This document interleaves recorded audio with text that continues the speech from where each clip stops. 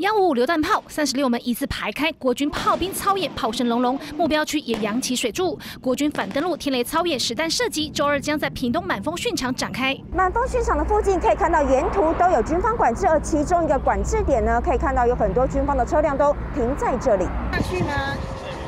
这里不行，是不是？前往场训沙滩，军方管制不能进入。而从制高点眺望，可以看到好几门幺五五的榴弹炮架设停在岸上，旁边好几名国军做最后准备，同时搬来伪装网掩护。这起国造破炮车透过拖板车运送离开，而早在八月四号，军方透过中型战术轮车将幺五五榴弹炮运送到满丰演训场，路上运行相当壮观。八九点就会。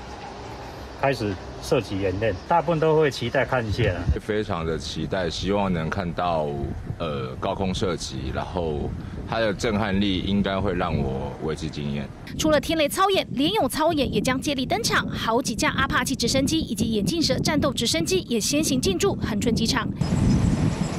连续几天，瑞渊无人机升空侦搜。周二上午飘雨，风势相当大，约定上午八点起飞，也因为天候不佳，安全性考量，确定不飞。国军年度训练操演，随着解放军海空实弹演训，格外受到关注。